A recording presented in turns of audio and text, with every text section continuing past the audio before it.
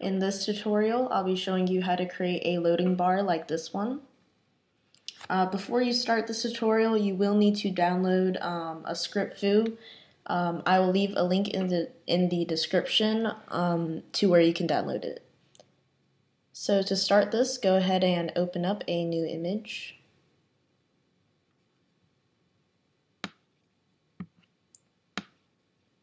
And I'm going to change the color of my background. So I'm going to grab my bucket fill tool and change my foreground color to a dark gray.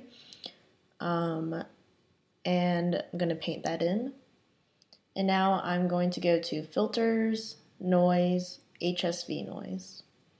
My settings are holdness 3, hue 20, saturation 0, value 15. And now I'm going to make a new layer. And you can do that by pressing the new layer icon at the bottom of your uh, layers window. And I'm going to grab my blend or gradient tool. I'm going to change my foreground color to white. And then I'm going to select the gradient FG to transparent. And then I'm going to change my shape to radial.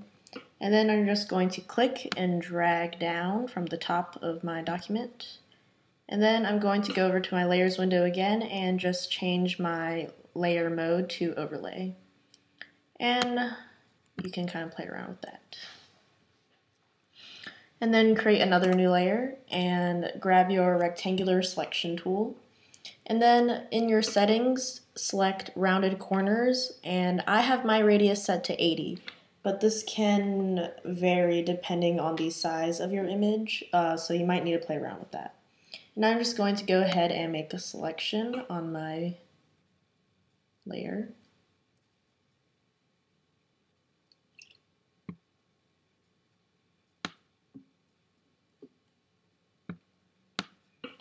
And now grab your uh, paint bucket tool and paint that in white. And then go to select, none. And then change that layer mode to overlay as well.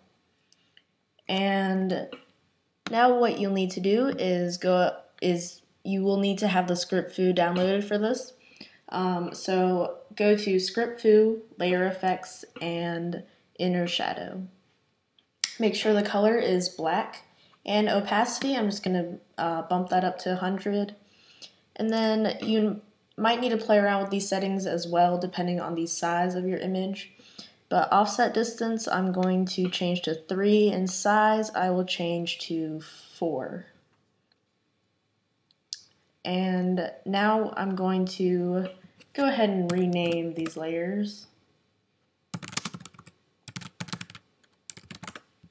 And drop back down to your bar layer um, and go to ScriptFu Layer Effects and this time go to Stroke um, color black, opacity 100, blending mode normal, size 1, and position 15. And again, this might change depending on the size of your image.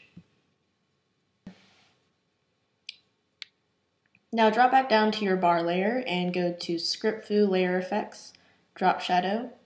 Change the color to white and um, I'm going to change the size to 2 and offset distance to about 1.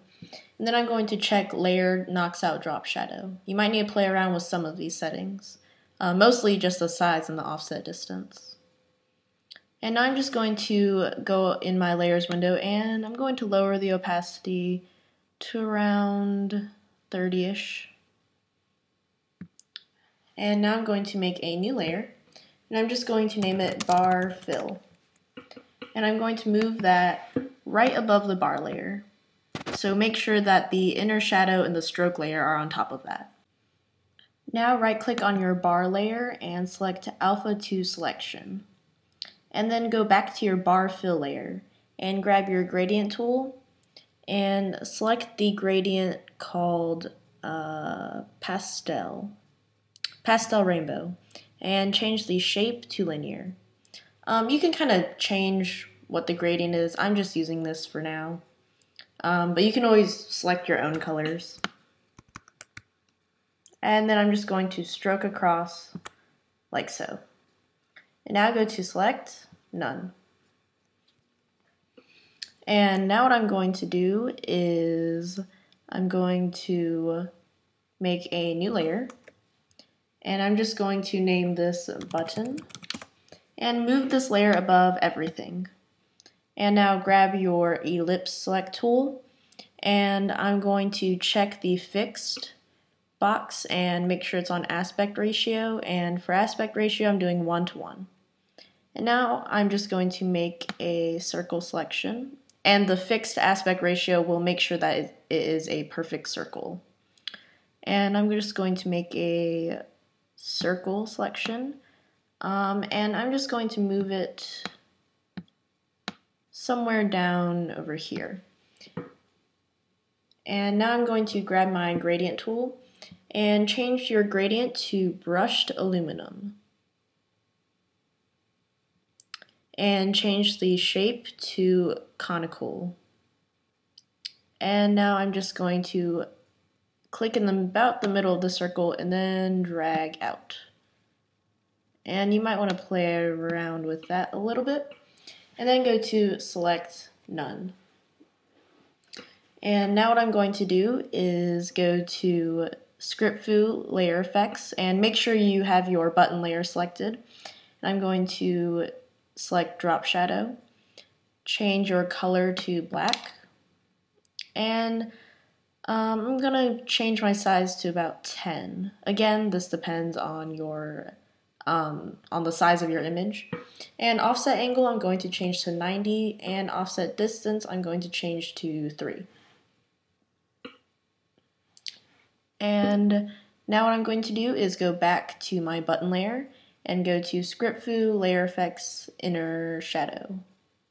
I'm going to change my color to white and I'm going to change my size to 2 and my offset distance to 2 and then select OK.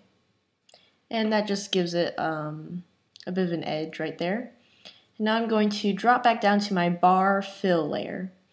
And I'm going to grab my rectangular selection tool and I'm just going to select everything from um, the button and then to the right of that. And now you can just delete all of that. Um, for some reason on the Mac, the delete key doesn't delete anything. Um, so I'm just going to use my eraser tool and erase all of that. And then you can go to select none. And now what I'm going to do is make sure you have your bar fill layer selected and go to ScriptFu Layer Effects Outer Glow. Um, I changed my color to this uh, bluish color. You can, you know, choose whatever color you'd like. Um, the HTML notation is 4BCEFF.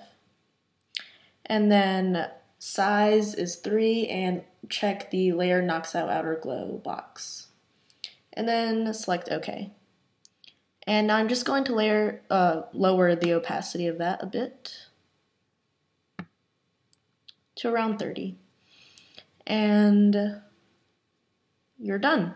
Uh, so that's, or actually, um, if you'd like, you can also, I'm going to create another new layer above the, right above the bar fill layer.